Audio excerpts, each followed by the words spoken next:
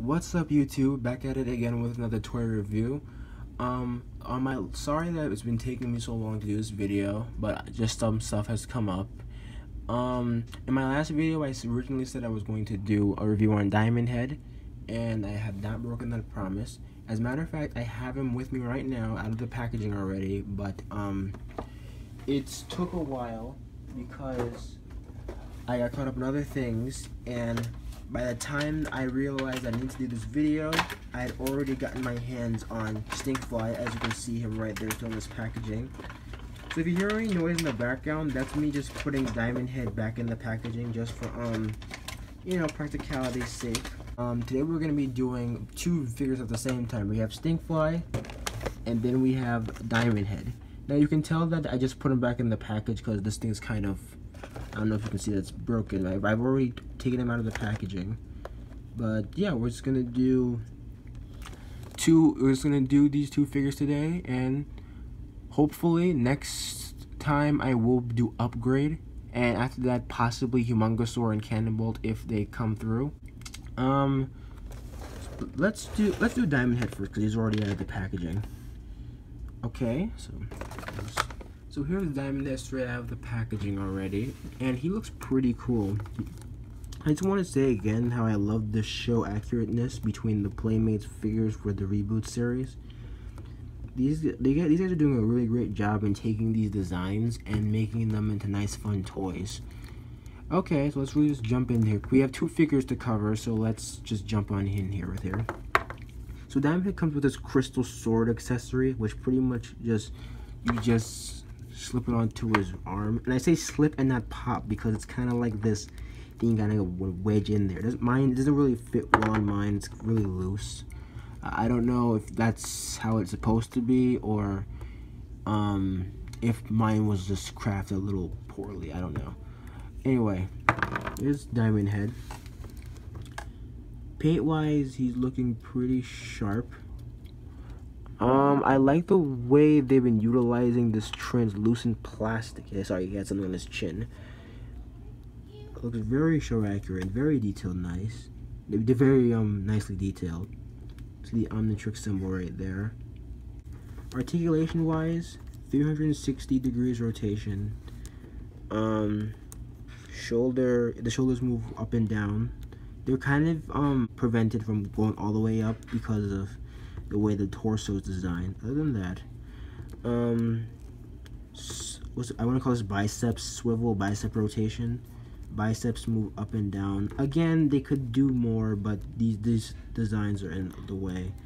And the translucent plastic kind of has if you, I'm, the camera catches this but um you can see where the joints connect and move in the figure and that's kind of cool. Like I thought that was very interesting to see notice. Um wrist rotation uh torso rotation. Um the legs move out bend back in this much, bending at the knee and swiveling at the leg and the lower leg. So that's pretty much it with this figure. When I first got it, I was a bit disappointed because I by the articulation because I thought that um, they were going to do so much more with this figure in terms of that. But it is definitely an improvement, you know? Like, I like the way it's crafted, the shape and the mold is nice.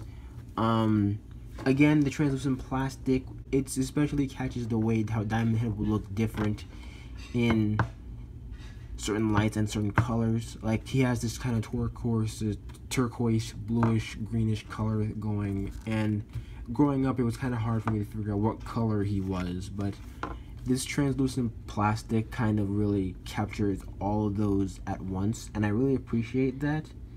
And it kind of just makes him fun to look at and fun to play with.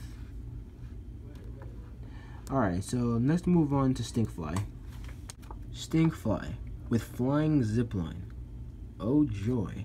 Okay, so um let's see what we have here. The packaging looks pretty nice. It's the same standard packaging we've been getting for all the reboot series Ben 10. On the back of the package, PU, this flying insect is the smelliest alien of all. Stinkfly is quick and agile, but don't be fooled, he's not just speedy. He can also shoot streams of gross fluid that can choke and blind his enemies. Choke and blind. Okay, so let's get him out of the let's get him out of the packaging. I will say, despite his hit or miss design, Stinkfly has to be probably one of the most comical relief in the show. It's a pity they got rid of him and everything with Jet Ray, but you know, it. But in a way, it kind of isn't a bad thing since I kind of prefer Jet Ray better than Stinkfly as a Ben 10 flying alien.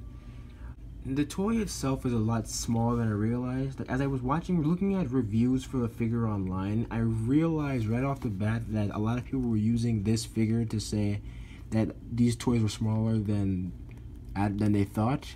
Now that I have Stinkfly out of the package, I can see exactly what they were talking about. I mean, he'll be cool to have in stop motion and collection and custom, but that's probably just about it.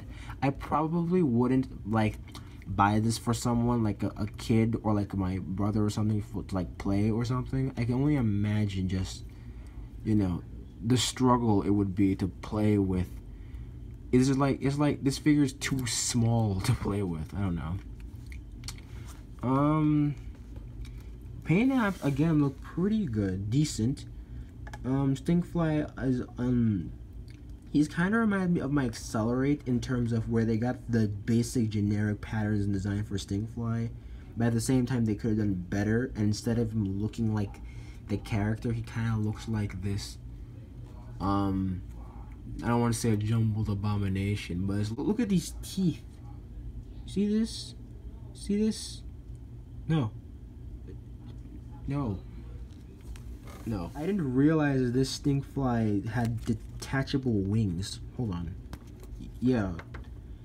It, I guess it came out with the box, though from the look on the box, I don't see what the issue would have been in just, you know, just selling, putting it in like this. I guess so they don't get damaged. Speaking of Stinkfly's wings, Stinkfly has a gimmick. Basically, he's got this goo splatter thingy. And what you do is like you stick it to a wall or something, and um, you can use it as a zip line to kind of simulate the idea of him flying. I might do this at the end of the review, but let's just look at his articulation really quickly. Um, articulation wise, Stinkfly isn't really.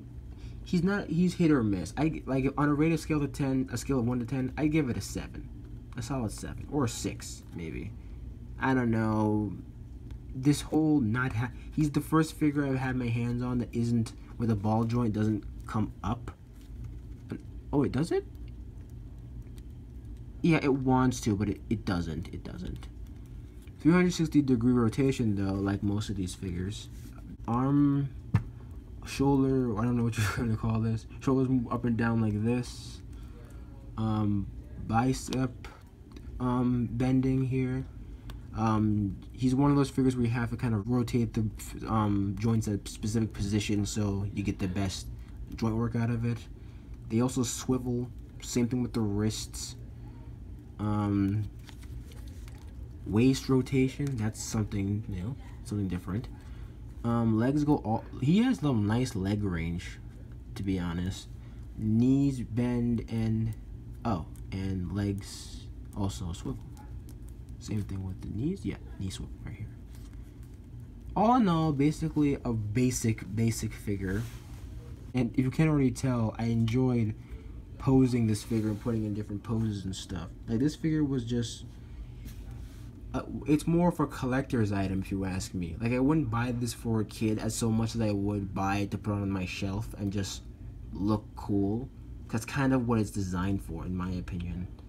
Let's compare them to the size with Diamondhead. They said most of these figures are um five inches or so. Let's see what it looks like with Diamondhead. So you know, basically, um, basically they're okay. You know, Diamondhead slightly bigger than Stinkfly, but you know they're within scale though. Those wings do add in like some size proportions though. Okay, so there's Stink there's Stinkfly right there mounted on the zip line as you can already see um as you can already see this thing does work pretty well. This suction cup thing doesn't really work well unless you have like a really flat surface. So as you can see my thing is on the glass of my window. Stinkfly itself as a figure though is not a bad buy. Um i'd highly recommend it if you're collecting. Probably not if you if you're buying it for like like as a gift for someone like or like a little kid's birthday or something like that. But other than that, he's a great figure and I'm going to enjoy having him for my collection and he's just he's he seems pretty cool, you know? Yeah. So thank you guys for watching my video. Please be able please be sure to like and subscribe. I also have not given up on making AMV videos. I will have more of those underway and some other new interesting videos I hope you guys like. At this point on it's honestly just about, you know, just posting whatever and then just, you know, hopefully I'm just having fun at this point as with the Stinkfly and my YouTube channel. But yeah, that's it for today. I hope you guys enjoyed the video and I'll again like, subscribe, comment, and I'll see you again next time.